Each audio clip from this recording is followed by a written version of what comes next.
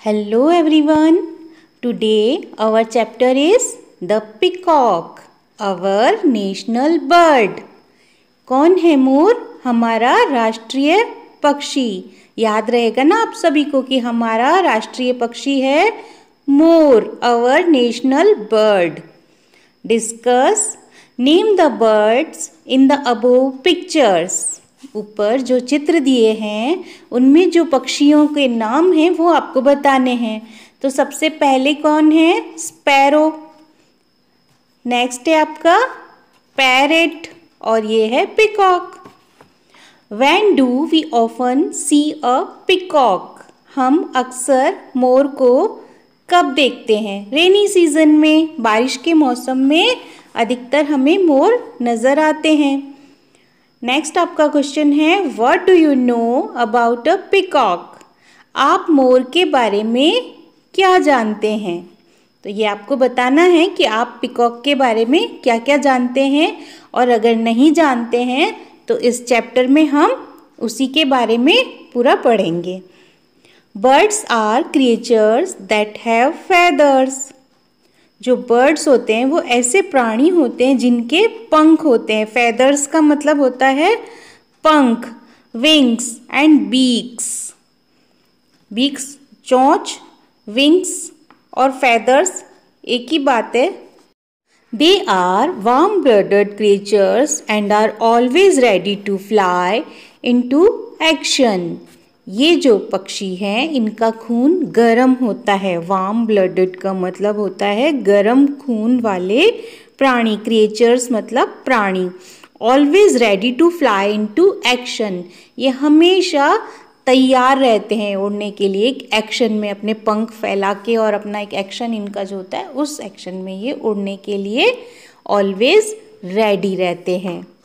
In fact, birds are the most powerful flyers of all living beings. In fact का मतलब होता है वास्तव में जो पक्षी हैं वो सबसे ज़्यादा शक्तिशाली उड़ने वाले जीव हैं सभी सजीव प्राणियों में all living beings However, not all birds can fly very high and the peacock is one of them. However का मतलब होता है, हालाँकि सभी जो बर्ड्स होते हैं, सभी पक्षी होते हैं, वो बहुत ज़्यादा ऊंचाई तक नहीं उड़ सकते हैं। और उन्हीं में से एक है पिकॉक आपका जो मोर है, वो भी बहुत ज़्यादा ऊंचाई तक नहीं उड़ सकता है।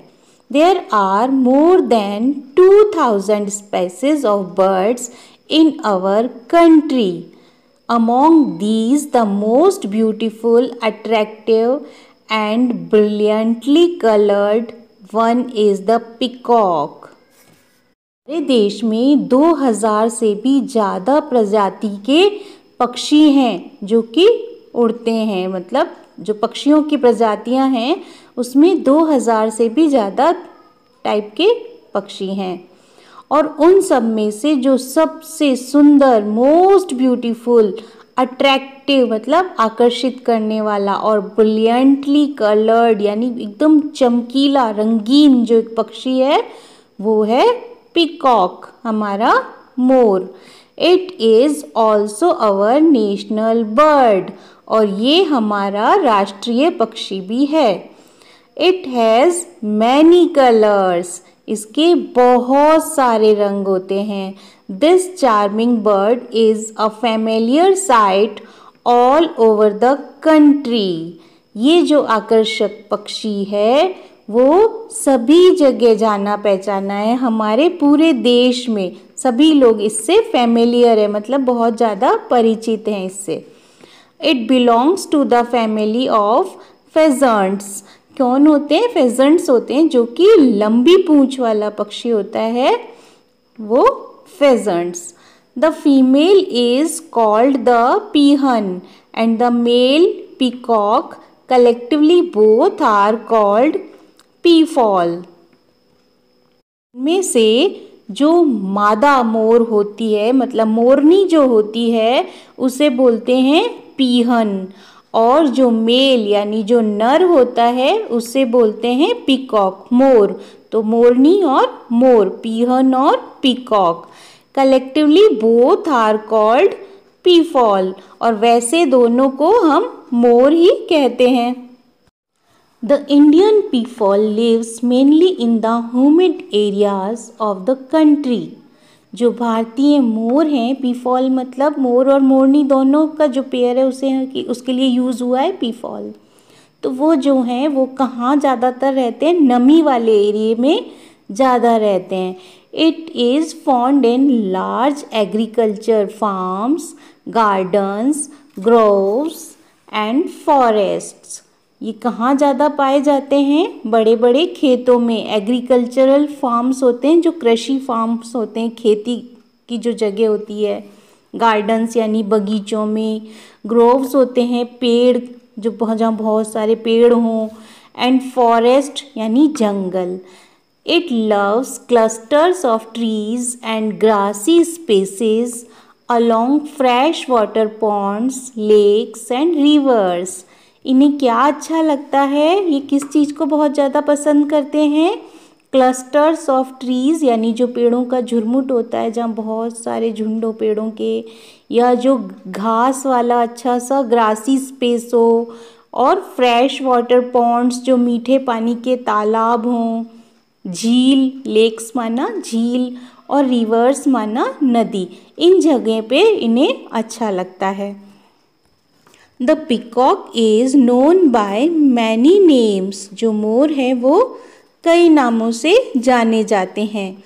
The common Sanskrit name for it is Mayura which means a killer जो इसका साधारण सामान्य अर्थ है, संस्कृत में मोर का उसे मयूरा भी कहते हैं संस्कृत में।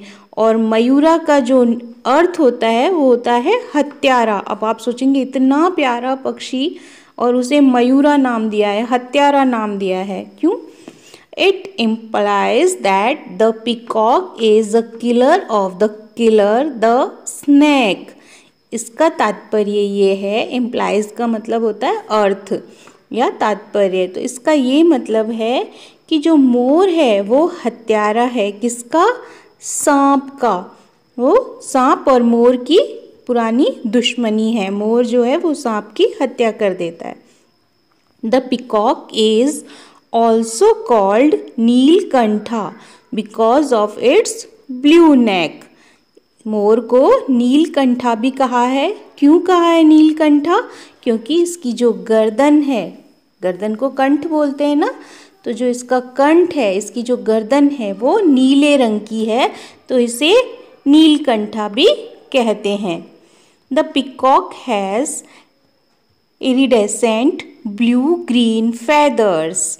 जो पिकॉक यानी मोर है, इरिडेसेंट का मतलब होता है इंद्रधनुषी। जो इसके फैदर्स हैं, वो इंद्रधनुषी रंग के ब्लू और ग्रीन, नीले और हरे रंग से मिलते हुए होते हैं।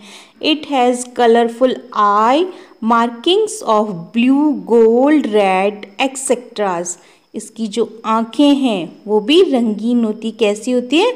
ब्लू और सुनहरी, लाल गोल्ड रेड यानी सुनहरा, लाल रंग उसकी आँखों में होता है और अदर जो भी कलर्स होते हैं एक्सेट्रा मतलब these feathers are in great demand as they are widely use in making hand fans इसके जो पंख हैं, उसकी बहुत ज़्यादा डिमांड है मार्केट में। क्यों डिमांड है?